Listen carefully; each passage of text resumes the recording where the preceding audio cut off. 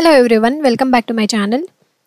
In today's video, we'll see how to create a new project in Google Cloud.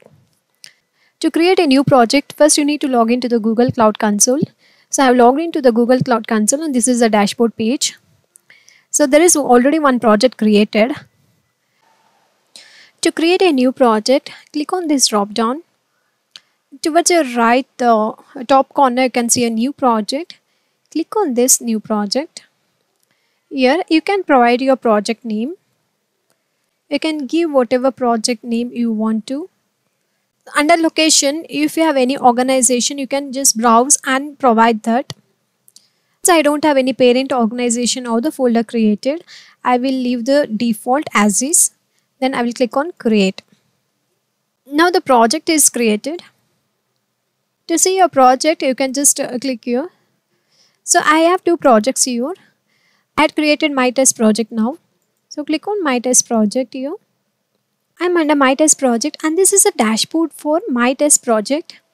Here you can see project info, APIs, Google Cloud Platform status, billing, monitoring.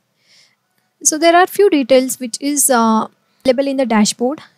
If you want to customize your dashboard, you can click on customize. You can select what details has to be shown on the dashboard page. So I just want the project info and the billing and the monitoring status. So I will uncheck other things like I don't want to see the Google Cloud Platform status. I don't want to see the news. I don't need this. I don't need this either. I don't need this either.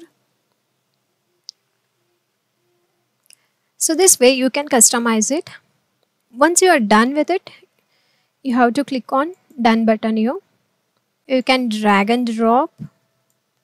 You can arrange uh, the dashboard. So this way you can customize your project dashboard. Now let's see what's under activity tab. Click on activity tab. So here you can view all the activities which took place in this project since we had created a project it started with that.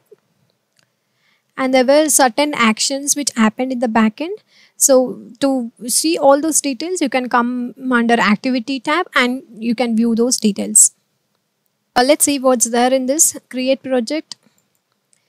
If you expand this uh, create project activity you can see who had initiated this create project. It will show the details here resource uh, name and the project name and when it was created what time it got created and the life cycle of this project.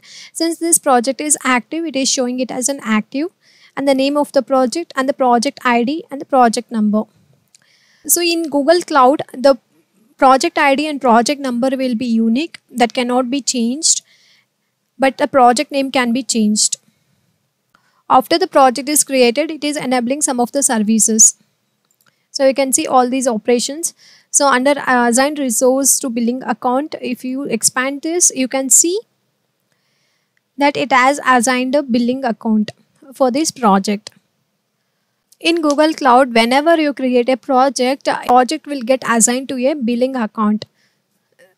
So this is what it is doing here. So that's all for today's lab. In this video, we were able to successfully create a project. If you found my video helpful, please like and subscribe to my channel and stay up to date with all the Google Cloud tutorials.